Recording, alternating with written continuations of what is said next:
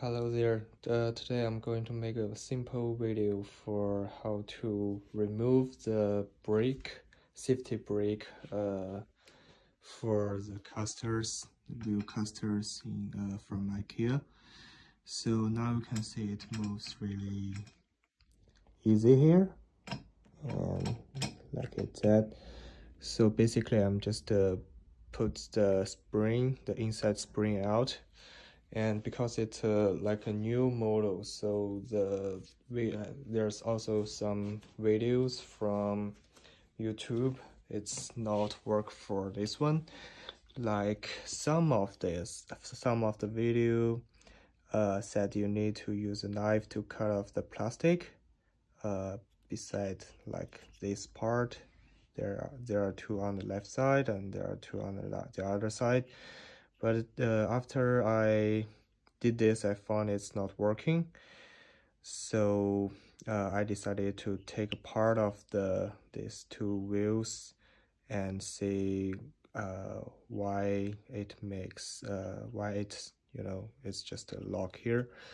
So after I take apart this I found there for this square one it's probably not focused very well the square in the middle. So there is only one hole for the axle. Sorry about my english but anyway. Yeah and uh, after after this square thing there is a spring here. So that's a very tough spring. You see i can't even uh i can't even uh you know change it. So what I'm going to do is to take off the spring and just put the square back and uh, put this axle into the hole. So it will it will uh, spin easily like this one. So now you can see it's very hard very very hard to move it. So let's see what I'm going to do because I don't have too much tools so what I'm going to do is only use this hammer and this one is just bought from uh, IKEA the tool kit here. And let's see what I'm going to do. I'm just put the phone here just in case. Okay. So it's not very easy to take this apart but if you have like better tools you know uh, you can try it but what I'm going to do is uh, first use this part and put it in into the gap. Okay probably like this and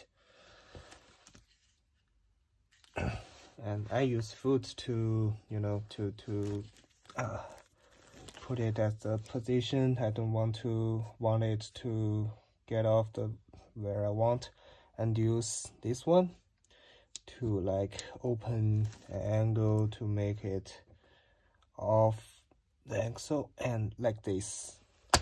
So you see it's uh, getting off really easy. So we can put this off also. And now see uh, for this part you know it's not very easy to let me just focus it. It's not very easy to take this apart. So I can use that one and go a little bit and a little bit more. So this part after you taking this apart because the spring is shipped so once you take this off it will uh, fly to somewhere.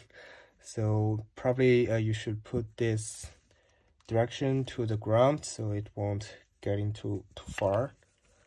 And now oh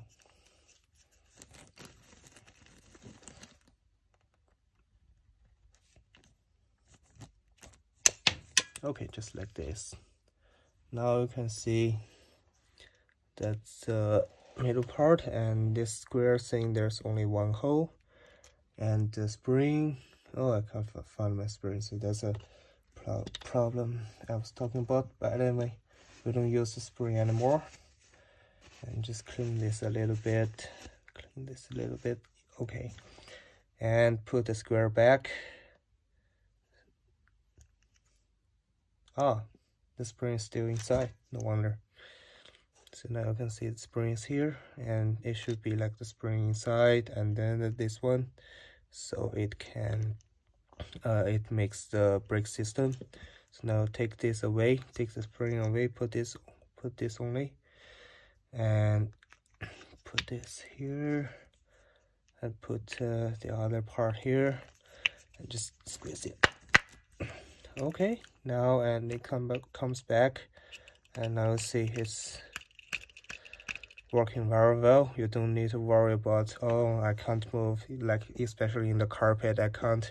Even when i sit on the chair i can't actually move my chair so that's a problem.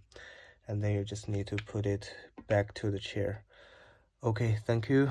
Hope that it will help you